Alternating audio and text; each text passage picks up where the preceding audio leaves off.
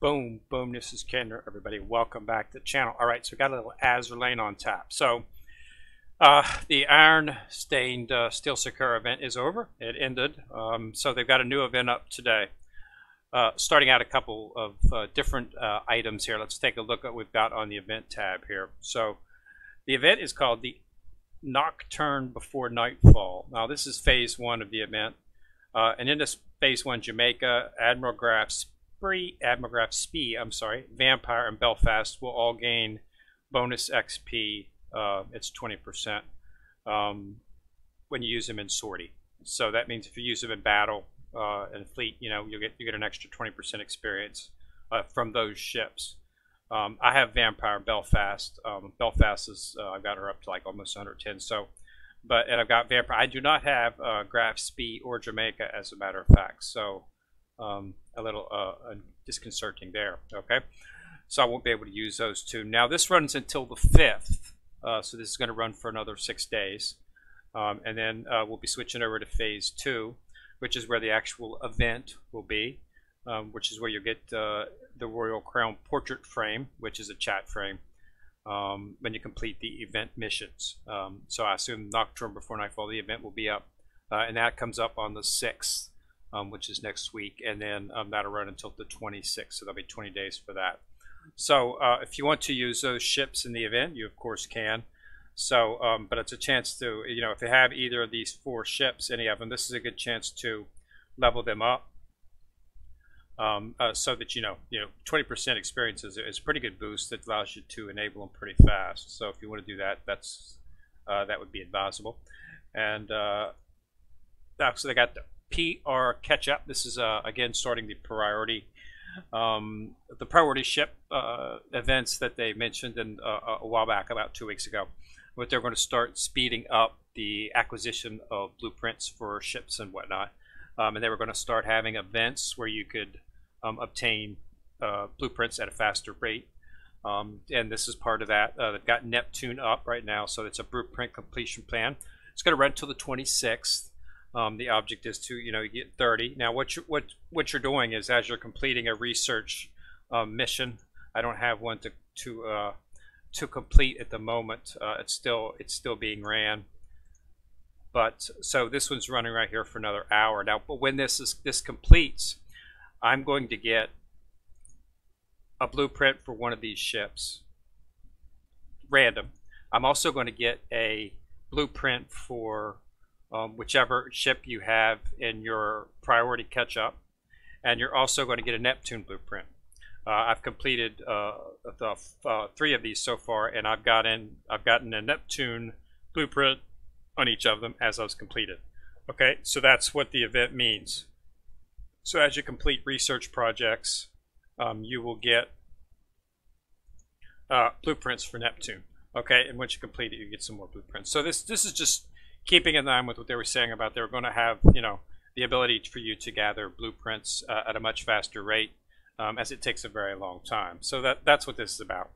Uh, and the next event that they've got up is running until the 12th. This is you got to complete two of these a day. So each day there'll be two new events, and you want to complete them uh, and then you can get the cheerleader by the playground um, at, uh, outfit um, at the completion.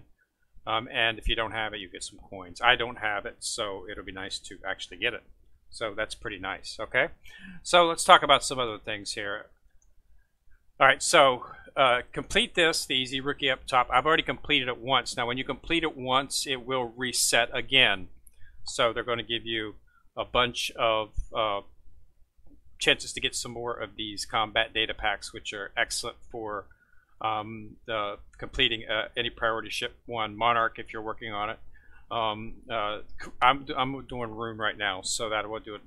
But I just reset it um, this morning actually, so I can claim all these because um, I've already got um, completed those.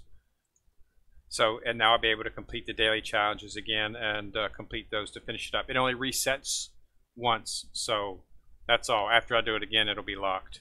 Um, but yeah, so you know, it's nice to get some of those data packs. It'll allow you to uh, do some research much much faster because the you know the the research you got to get a million experience points with a fleet of the that matches the ship, the priority ship that you're building. Uh, you got to get uh, a total of 3,000. The first one is 1 million. Um, uh, and then the second one is 2 million. So you got to get 3 million. I'm sorry, it was not 3,000, but 3 million experience points. So that can take a little while. Uh, yeah, so this is going to allow you to speed it up. It's only for, you know, it's only for the Series 1 ships. So, you, you know, you're not going to get into your, your uh, you know, your Series 2 or the Series recently released Series 3 ships. But, hey, it's it's nice that they're offering it, and it's nice that they're giving us a little bit of help on blueprints. Um, I'm going to have quite a bit of the Neptune blueprints, so I might just go ahead and uh, do Neptune after I finish with Roon. Uh, I'm doing Roon just because I want to start a German fleet, um, because I want to go for some of the, the, priority ships in the Series 2 and Series 3, which I really think are cool, FDG and a few others. So uh, that's why I was going to do that, because uh, I think that's the best way to make a competitive German fleet. Uh, so Ironblood fleet. So um, yeah, so that's good. Now, on another note, uh, I have finally, after all this time, Monarch is fully, fully 100% complete. So as you can see, I've got her fully maxed out with uh, with all gear. Uh, um, got the piercing shells here, uh, HE, um, uh, all maxed out at 10. Uh, I've got all of her skills maxed out at 10. But that can be maxed. Siren Killer is just a basic, basic skill. It stays at 1. I've got the research development uh, completed, dev level up to 30. Uh, the Fate simulation is completed as well, and I've got the uh, buff to the Against the Current. It gives me a plus level, uh, which allows me to get an extra uh, extra reload. Plus, um, it gives me the biggest weakest. Um, is all priority ships have zero luck. She now has 15. So that's that's one of the reasons you want to do that. But she's fully done, so I no longer need any blueprints. Um, and it's a lot of blueprints. Um, it's a lot of blueprints. I've been gathering blueprints consistently. Um, for at least uh, at least five or six months. Um, it's like almost 600 blueprints that you got to get, and you don't get them. You don't get them fast. I mean, I got these last ones fast because they have they have the new event up where you can, um, you know, uh, uh, assign a catch up. You know, you, you can assign a um, a catch up um, so I've got mine set to Roon right now. So when I do my events, I'll get a Roon and I'll get a monarch or a Neptune blueprint. Um, but this is only for 27 days, so I'll only get a blueprint for Neptune for 27 days. Then this event will end and it won't, but I'll still get Roons. So I'm already starting to gather Roon blueprints um, since I'm finished with Monarch and I don't need to do that. Um, I have decided not to focus on St. Louis at this point um, in time. Uh, she will be French fleet uh, when I do decide in the future to work on that. But so I'm just going to focus on on Roon right now for my Ironblood fleet, um, and she would be an excellent addition to it. Um, so that's what I've got set up. But yeah, so when this came out, it allows it allows you to gather blueprints uh, much more fast, uh, at a much at a much faster pace as you need to. So I'm still pretty. I'm still you know I'm still ways from her. Let's go into the lab here. Go into the shipyard. Um, yeah, see, I'm about halfway through. Uh, so you got to get a million, and then the second uh, collection is two million. So I'm about halfway through the one million. Um, so that that the the data packs will help. Uh, that'll allow me to get a lot of this caught up. So and then then I'll be able to focus on that and uh, everything else. And I'll have a lot of blueprints um, saved up for her um, through this uh, through you know through the various events and through the actual um, setting her up as my uh, feature ship in the uh, the section. So make sure you have that set up um, for whichever uh, ship you're going to build. Make sure you make sure you definitely set that up because it's it's going to help out immensely um, in terms of uh, what you want to do. So just make sure to catch up as the ship you're building. And like I say, uh, as I said before, I would suggest Monarch. Uh, she is one of the most powerful ships in the game, um, and she is a beast.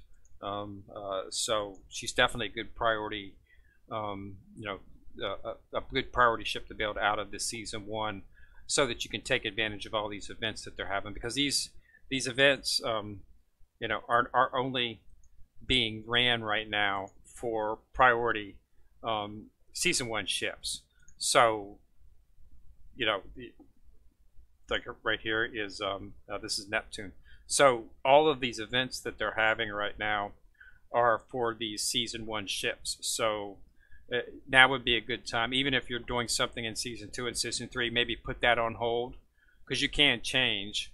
Um, you know, just temporarily. You won't lose what you've already gathered on the other one.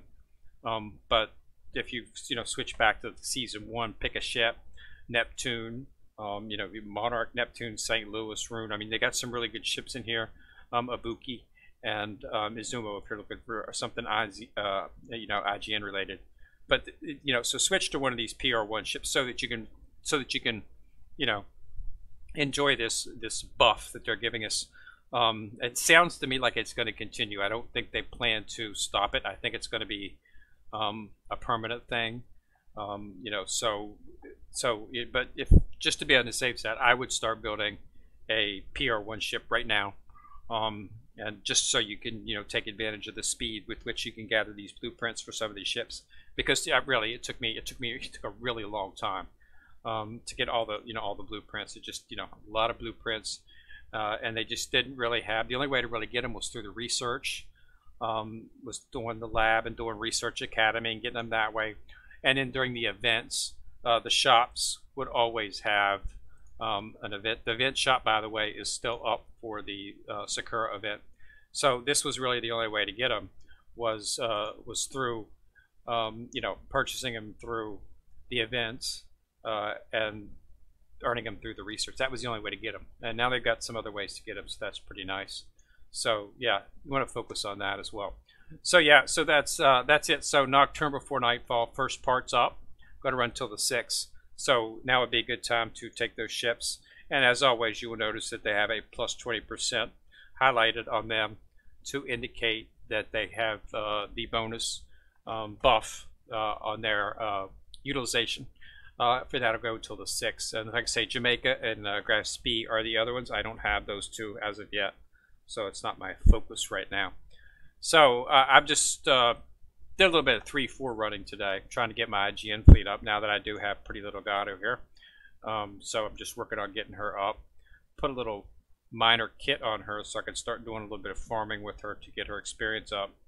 Um, so that that's my, you know, because there is no event going up right now that's associated with uh, you know that has a special event stage, um, and it, that should drop uh, on the sixth whenever they do the the update uh, phase two for the uh, Nocturne by Nightfall event. Okay, so uh, get in there knock things out. Now's a good time to do a little bit of three four if you're lacking Akagi and Kaga, because I assume if you uh, towed it on the previous event, you should have Nagato by now, and that's, that's the only way to get her. If you didn't get her, um, I'm sorry for you, but uh, it will pop up again next year, and you'll have a chance to get her then. Um, but if you did get her, then you need you want uh, you can do. There's two. Uh, there's two ways to go with her. There's two comparisons that you can run. You can run her with. I'm running her right now with. Um, since I don't have Akagi, I'm not using Kaga. I am currently using, I run the Gato in my back, and I'm running her with Shoukaku. And, uh, see, I'm running the Gato with, where's Shoukaku at? Where's she at? I know she's in here somewhere. Yeah, I'm running her with Shoukaku. And uh, if you run Shoukaku, Shoukaku has a, Shoukaku, she has a special cure, fifth carrier division. If you sort her with Zuikaku, it increases the ship's aviation by 25.8 and it increases the damage it's taken by 5. So it gives her a slight buff and a slight takeaway on her damage. Um, but with a buff from, you know, Nagato that's limited. And then you can compare with Zuikaku because I do have both Zuikaku and uh, Shoukaku. So I'm going to run that until I can get my hands on, um, until I get my hands on Akagi. You know, the Akagi, it's you know, it's fleeting. you're not really sure when you're going to get her, uh, at what time you're going to get her. So it's really difficult to, you know, play forward as to when it's going to happen. So I just decided that it would be best to just go ahead and focus on pairing up those two since they do make a team for the fifth carrier division uh, and just pair them with uh, Nagato until I can get my hands on a Akagi and then I can switch over and have Nagato, Akagi, and Kaga in my backfield. So that's what I'm doing. Um, and then I'm just running a mix of IJN shape, uh, IJN ships on the uh, on the front line um, to uh, to make up a, a, pretty good team. It's not a bad team, but you know it's going to take a little while. Um, so this is what I'm currently running. I've got Nagato, uh, then I've got Zuikaku and Shoukaku, and I got Ayanami. Uh, and I'm running. I decided to go ahead and run. Um, uh, go ahead and run Kawakaze because I just wanted to see. You know, she's she's a pretty good ship and she's got a pretty interesting skill, as well as a buff, um, which makes her pretty interesting. So I decided to go ahead and run her. And then I've got uh, Yukikaze, which is just a beast. If you if you don't have Yukikaze, you should definitely get her. You can the best way to get you know get her and focus on her because I'm telling you, Yukikaze is just a beast. Um, this she won't die. Okay, impossible for her to die. Um, the the skill set that she has makes her uh, extremely excellent for a tank. So uh, so that's what I'm running right now. So it's not a bad fleet. It's not super powerful as you can see. I'm still working on getting the skills leveled up um, and and you know and outfitting them with the equipment. Um, so it's you know it's it, you know it's a it's a it's a prog it's a work in progress. But I've got the main stay, which was Nagato. Um, it all goes with this, um, and, she increases all these ships um, buff. She buffs them all immensely.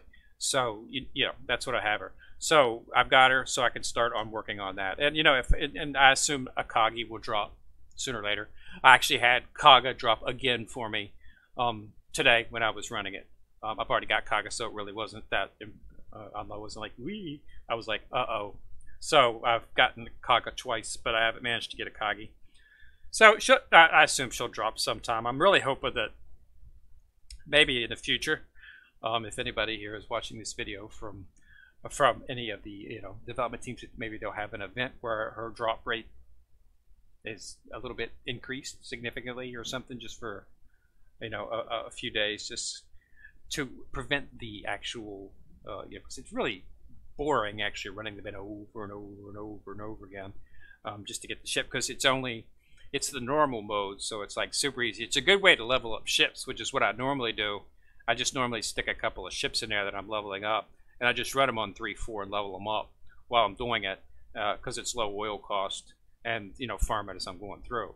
So it, it's a nice way to level up ships, but it's really it's a little bit boring because it's three four and the, the, it's normal mode, so it's really easy. You know, you got to run it like three times. Three, you got to beat three fleets before the boss, um, before the boss. You know, the boss appears, which is where the the drop is. It's only on the boss portion um, that you can actually get uh, Akagi or Kaga to drop. So you know, it's only that. So there's not very many chances uh, you can't go straight to it. So it just takes a little bit of time. But, you know, it is what it is. So I'll keep farming it and hopefully we'll get it. And I will, of course, do a video when I do manage to snatch her up. But I uh, just want to let everybody know that uh, the Iron Steel event is over. And uh, we are now on to Nocturne by Nightfall. And we'll see how that one goes, okay? So everybody, thanks a lot for watching the video. Remember, to put a like on it if you do like it. And remember to click on the subscribe button and click on the bell ding ding beside it if you want to be notified whenever I drop a video. This is Kenrir still in the corner, signing out.